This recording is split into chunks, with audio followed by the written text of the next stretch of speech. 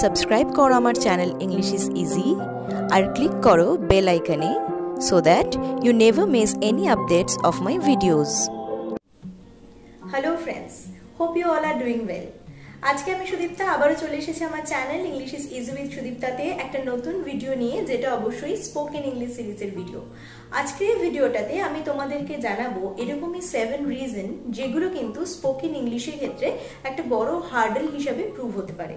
হতে পারে আমরা স্পোকেন ইংলিশ শিখতে চাইছি, আমরা ট্রাই করছি অনেকদিন ধরে শেখার, কিন্তু আলটিমেটলি শিখে উঠতে পারছি না।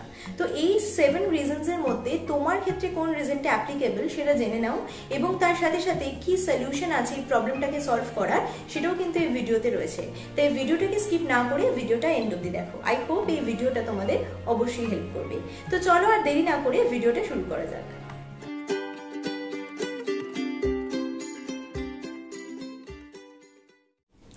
তো বন্ধুরা স্পোকেন ইংলিশ কেন আমাদেরকে অবশ্যই শিখতে হবে? তার কারণ হচ্ছে এটা কোথাও না কোথাও আমার কোয়ালিটিকে ইম্প্রুভ করবে। এটা কোথাও না কোথাও চাকরি পেতে আমাকে সাহায্য করতে পারে বা নিজের হারিয়ে যাওয়া কনফিডেন্সটাও কিন্তু আমরা ফিরে পেতে পারি যদি আমি স্পোকেন ইংলিশে কমফোর্টেবল হই। তো এই নানা কারণের জন্য কিন্তু আজকের ডেটে এসে স্পোকেন ইংলিশ জানাটা বা ইংলিশে কথা বলতে পারা ফ্লুয়েন্টলি এটা কোথাও একটা মাস্ট হ্যাভ কোয়ালিটিস হয়ে দাঁড়িয়েছে। তো সেক্ষেত্রে অনেকেই দেখা গেছে বিভিন্ন কারণে স্পোকেন ইংলিশকে কন্টিনিউ করতে পারে না বা আলটিমেটলি অনেক চেষ্টা করার পরেও তারা কিন্তু স্পোকেন ইংলিশকে শিখে উঠতে পারে না। তো চলো আজকে জেনে নেওয়া যাক কি কি কারণ হতে পারে যার জন্য এটা সম্ভব হচ্ছে না। তো প্রথম যে কারণটা, যেটা আমাদের স্পোকেন ইংলিশ শেখার পথে একটা প্রবলেম সেটা হচ্ছে you don't have enough time to learn English এটা কিন্তু one of the major reasons of not good enough in spoken English তার কারণ হচ্ছে যে আমরা কিন্তু স্পোকেন ইংলিশ শিখব ভাবি, আমরা অনেক প্ল্যানিং করি কে এই প্রসেসে আমরা স্পোকেন ইংলিশ শিখব। কিন্তু আলটিমেটলি আমি ইংলিশ শেখাটার উপরে কিন্তু একদমই জোর দিই না। এবং কোথাও না কোথাও স্পোকেন ইংলিশ আমি শিখছি কতক্ষণ ধরে, সেই টাইমটা কিন্তু অনেকটাই কম। তো অবশ্যই মনে রাখতে হবে বন্ধুরা, যেহেতু এই ল্যাঙ্গুয়েজটা আমাদের নোন ল্যাঙ্গুয়েজ নয়, আমাদের মাদার টাং নয়, তো সেক্ষেত্রে এটা শিখতে গেলে অবশ্যই কিছুটা সময় লাগবে, আমাকে কিছুটা টাইম দিতে হবে। তুমি তোমার ডেইলি লাইফে তোমার ডেইলি রুটিনের একটা ফিক্সড টাইম করো, সেই টাইমটাতে তুমি নিজেকে হেল্প করো স্পোকেন ইংলিশ শেখার জন্য।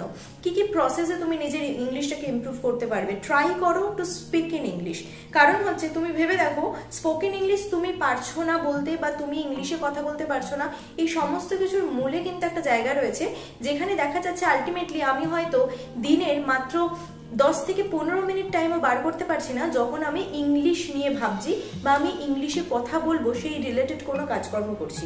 তো সেক্ষেত্রে খালি ভিডিওস দেখা বা বিভিন্ন লার্নিং ভিডিওস শোনা বা নানা ধরনের প্রসেস সম্বন্ধে নলেজ গেইন করাটাই কিন্তু যথেষ্ট নয়। সব থেকে আগে যেটা দরকার সেটা হচ্ছে ইংলিশ শেখার জন্য একটা প্রপার টাইম ডিভোট করা। ইংলিশ শেখার জন্য একটা প্রপার টাইমকে নিজের লাইফে নিয়ে আসা। যে সময়টায় তুমি ইংলিশ ইংলিশটা শিখবে এবং তাহলেই কিন্তু দেখবে তোমার স্পোকেন ইংলিশ শেখাটা অনেকটা ইজি হয়ে যাচ্ছে। The second major reason is you are not getting enough opportunity হতে পারে তুমি স্পোকেন ইংলিশ যে শেখাটা তোমার দরকার, সেটা তুমি বুঝতে পারছ। তুমি বুঝতে পারছ স্পোকেন ইংলিশ শিখলে হয়তো তোমার লাইফে কিছুটা ইম্প্রুভমেন্টস আসবে, তোমার ক্যারিয়ারে কিছুটা আপলিফমেন্টস হবে, বা তুমি নিজের কনফিডেন্স সেলফ কনফিডেন্সকে ইম্প্রুভ করার জন্য স্পোকেন ইংলিশ শিখতে চাইছো। কিন্তু তুমি সেই প্রপার অপরচুনিটিটা পাচ্ছ না, বা সেই সুযোগটা পাচ্ছ না। হতে পারে কোনো পার্টনার তোমার নেই যে তোমাকে হেল্প করবে তোমার স্পোকেন ইংলিশে মানে তোমাকে অ্যাজ আ পার্টনার সাপোর্ট করার। তুমি তার সাথে কথা বলবে, কারণ অনেক জায়গাতে আমরা শুনেছি যে স্পোকেন ইংলিশে তোমাকে কথা বলার জন্য কাউকে চাই। তো সেক্ষেত্রে তোমার সেরকম কোনো অপশন নেই। স্কুলে বলো কলেজে বলো বা তোমার গ্রুপে বলো, পড়াশোনার জায়গাতে বলো, সেখানে এরকমভাবে কেউ ইংলিশে কমিউনিকেট করে না। তো সেক্ষেত্রে তুমি কীভাবে নিজের স্পোকেন ইংলিশকে ইম্প্রুভ করবে? দেখো বন্ধুরা, যদি আমরা প্রপার অপরচুনিটি খোঁজার জন্য ওয়েট করতে থাকি, তাহলে অবশ্যই সেই অপরচুনিটিটা কোনোদিনও আমাদের কাছে আসবে না। Because opportunities are nothing but a chance which you have to make as an opportunity কোনো একটা সুযোগ যেটাকে আমাদের অপরচুনিটি বানাতে হয়। তো কি, তুমি কীভাবে নিজের স্পোকেন ইংলিশকে ইম্প্রুভ করতে পারো? সেক্ষেত্রে আমার মনে হয় একটা সিম্পল স্টেপ কিন্তু তোমাকে অবশ্যই হেল্প করবে। নিজে নিজেকে তুমি হেল্প করতে পারো এখানে।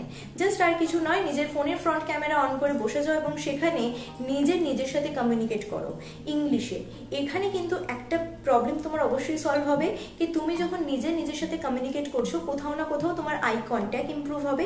তার সাথে সাথে তুমি নিজে নিজের কনফিডেন্স লেভেলটাকেও ফিরে পাবে যে yes you can speak in English তো এভাবেই নিজে নিজের লাইফে অপরচুনিটি তৈরি করো, নিজে ট্রাই করো সেলফ ডিপেন্ডেন্ট হয়ে স্পোকেন ইংলিশ শিখতে, কারণ এটাই সব থেকে ইম্পর্টেন্ট ব্যাপার যে তুমি কতটা চাইছো স্পোকেন ইংলিশ শেখার জন্য। তুমি যদি নিজের বেস্ট দিয়ে ইংলিশ শিখতে চাও, তাহলে এটাও ততটাই ইজি যতটা আমরা ছোট থেকে বাংলা শিখে এসেছি। তো অপরচুনিটির জন্য ওয়েট করো না opportunities are everywhere you just have to find out for your self তুমি নিজে নিজেকে হেল্প করতে পারো এখানে স্পোকেন ইংলিশ ইমপ্রুভ করার জন্য। তো বন্ধুরা থার্ড যে মেজর প্রবলেমটা যেটা আমরা অলওয়েজ ফেস করে থাকি সেটা হচ্ছে spending too much time to learn the grammatical rules অনেক সময় আমি দেখে থাকি স্টুডেন্টসরা স্পোকেন ইংলিশ শেখার ক্ষেত্রে গ্রামার্সের উপর এতটা বেশি ফোকাস থাকে যে তারা তাদের মেইন পারপাসটা থেকে কিন্তু ডাইভার্ট হয়ে যায়। তো সেক্ষেত্রে দেখা যায় যে স্টুডেন্টসরা যখন এক মাস বা দু মাস ধরে অনলি গ্রামাটিক্যাল রুলস ফলো করে যাচ্ছে এবং তারপর যখন তারা সেই রুলসগুলোকে ইউজ করে ইংলিশে কমিউনিকেট করতে যাচ্ছে, কোথাও না কোথাও তারা পারছে না। তার মেইন কারণ কি? এই দু মাস বা তিন মাসের মধ্যে তারা কিন্তু ইংলিশে কথা বলাটা একবারে প্র্যাকটিস করেনি। তারা জাস্ট গ্রামার্সগুলোকে ফলো করে গিয়েছে। এবং সেখানে গিয়ে কোথাও না কোথাও কিন্তু তারা ফেল করে গেছে আলটিমেটলি তার কারণে এই দু মাস বা তিন মাসের যে টাইম স্প্যানটা সেখানে তারা তাদের কমিউনিকেশন স্কিলকে কিন্তু ইমপ্রুভ করতে পারেনি। তো আমার মনে হয় বেসিক গ্রামার্সের যে রুলস যেটা কমিউনিকেশন করার জন্য দরকার, সেটুকু আমাদের কাছে অবভিয়াসলি রয়েছে। যদি না থাকে জাস্ট সেইটুকু রুলস আমরা যদি জেনে নিতে পারি, তাহলে কিন্তু আমাদের কমিউনিকেশন স্কিলকে আমরা শুরু করতে পারব। এবং ডে বাই ডে যত আমি নিজে কমিউনিকেট করতে শুরু করব, আমার নিজের কানই আমাকে বলে দেবে, আমি কোন জায়গায় গ্রামেটিক্যাল মিস্টেক্স করছি। এবং যদি সেরকম কোনো মিস্টেক্স আমার কমিউনিকেশনে ধরা না পড়ে, তার মানে আমার communication as a spoken English একদম পারফেক্ট তার কারণ আমরা বাংলায় যখন কথা বলি, আমরা কিন্তু বাংলার গ্রামার্সকে বেস করে কথা বলি না। তো সেক্ষেত্রে আমার তোমাদের কাছে সাজেশন হবে, যারা স্পোকেন ইংলিশকে শিখতে চাইছো এবং পজিটিভলি শিখতে চাইছো, তারা কিন্তু গ্রামার্সের রুলের উপর বেশি ফোকাস করো না। রাদার ফোকাস করো যে একটা দিনের মধ্যে তুমি কতটা টাইম ইংলিশে কথা বলছো। যতটা টাইম তুমি বেশি ইংলিশে কথা বলবে, তোমার স্পোকেন ইংলিশের ইম্প্রুভমেন্টস বা তোমার ফ্লুয়েন্সি কিন্তু তত তাড়াতাড়ি আসবে। So the fourth major reason is you are too shy to practice তুমি প্র্যাকটিস করতে কিন্তু লজ্জা পাচ্ছ। অনেক সময় এরকম হয়ে থাকে যে আমরা ভাবি যে আমি যে ইংলিশ বলব, বাড়িতে কার সাথে কথা বলব? কেউ যদি বাড়িতে কিছু বলে ফ্রেন্ডস কোন ফ্রেন্ডসের সাথে আমি কথা বলব? সে যদি আমাকে সেখানে কোম্পানি দিতে রাজি না হয়, তো এরকম ভাবে বিভিন্ন কারণ বা এক্সকিউজ আমাদের লাইফে চলে আসে, যার জন্য আলটিমেটলি প্ল্যানিং এর সমস্ত কিছু থাকা সত্ত্বেও, সমস্ত মেটেরিয়ালস রেডি থাকা সত্ত্বেও আমি কিন্তু স্পোকেন ইংলিশ শুরু করতে পারি না। তো সেক্ষেত্রে you are you are not suppose to be shy or you are not suppose to be less confident when you are practicing English when you are practicing when you are practicing of speaking English তার কারণ হচ্ছে, যখন তুমি কথা বলছো, তখন it is very obvious that you are making mistakes তুমি mistakes করবে, এটা খুবই অবভিয়াস এর মধ্যে কোনো নেগেটিভ কিছু নেই। কিন্তু তোমাকে কিন্তু কি করতে হবে? এর পরেও নিজেকে কন্টিনিউ করতে হবে। নিজের যে প্র্যাকটিস তাকে ক্যারি ফরওয়ার্ড করতে হবে। তুমি কোনো জায়গায় পারছ না বা আটকে যাচ্ছ, সেখানে তুমি কি করছ? তুমি লজ্জা পেয়ে নিজেকে নেগেটিভ ভেবে তুমি সেখানে স্টপ করে দিচ্ছ। তো সেটা কখনোই করা উচিত নয়। তার কারণ হ্যাঁ এটা একটা নতুন ল্যাঙ্গুয়েজ আমার কাছে, এটা শিখতে আমার কাছে টাইম লাগবে। কিন্তু অবশ্যই যদি আমি নিজের বেস্ট দিয়ে প্র্যাকটিস করি, আমি অবশ্যই পারব নিজের স্পোকেন ইংলিশকে ইমপ্রুভ করতে এবং নিজের কমিউনিকেশন স্কিলে ফ্লুয়েন্সি আনতে। So the fifth major problem is you are too concern about your goals তার মানে কি? আমরা স্পোকেন ইংলিশ শেখার প্রয়োজনটা অবশ্যই তখনই অনুভব করেছি যখন কোথাও না কোথাও আমাদের লাইফে এটা দরকার পড়েছে। মেবি হয়তো নিজেকে ইন্টারভিউ রেডি করার জন্য মেবি হয়তো কলেজে নিজের একটা স্ট্যান্ডার্ড মেনটেন করার জন্য মেবি হয়তো এই ল্যাঙ্গুয়েজটা আমার উপর চাপিয়ে দেওয়া হয়েছে ইংলিশ ল্যাঙ্গুয়েজটা এবং তাই জন্য এই ল্যাঙ্গুয়েজটাকে বয়ে নিয়ে চলতে হবে সেই জন্য। তো অনেকেরই এরকম অনেক রিজন আছে স্পোকেন ইংলিশ শেখা, এই যে তাগিদটা অনুভব করা তার পেছনে।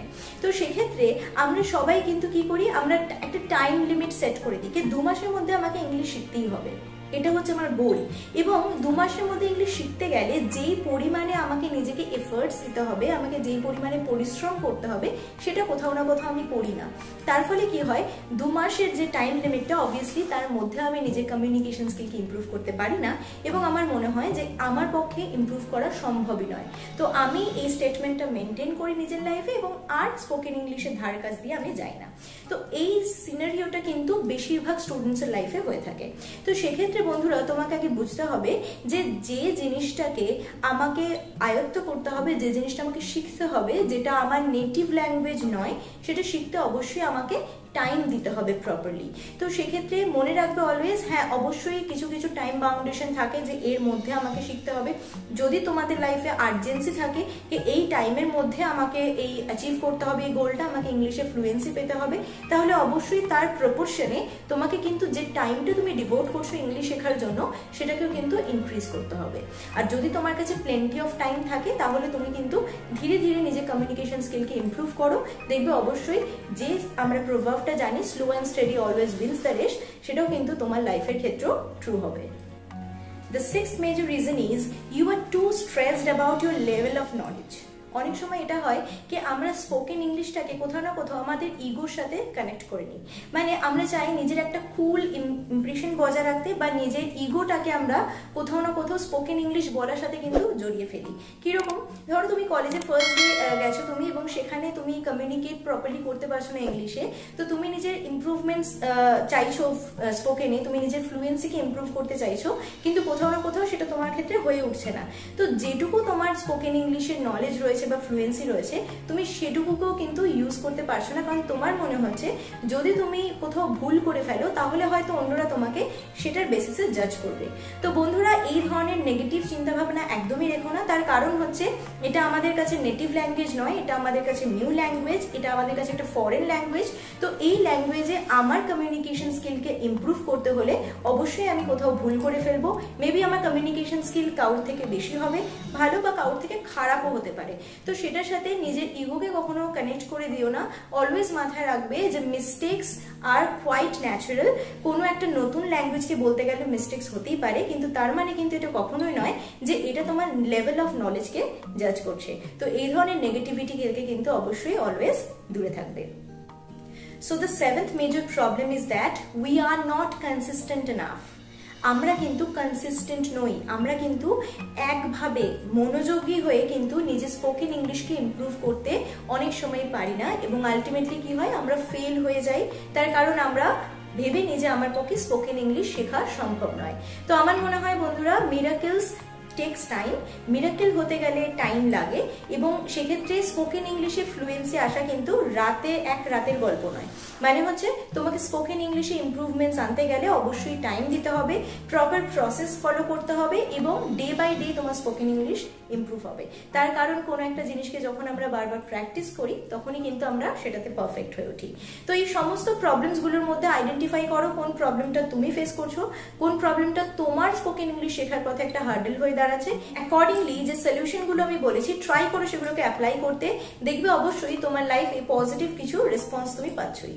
তো আশা করি আজকের এই ভিডিওটা তোমাদেরকে হেল্প করেছে। কিছু না কিছু কনফিউশন তোমাদের ক্লিয়ার হয়েছে অবশ্যই। যদি ভিডিওটা ভালো লেগে থাকে, অবশ্যই লাইক আর শেয়ার করতে ভুলো না। আর সাবস্ক্রাইব করো আমার চ্যানেলটাকে এই ধরনের আরও অনেক ভিডিওস পাওয়ার জন্য। দেখা হচ্ছে অন্য কোনো একদিন, অন্য কোনো একটা নতুন ভিডিওতে অন্য কোনো নতুন টপিকের সাথে। Until the time keep learning and stay positive বা বাই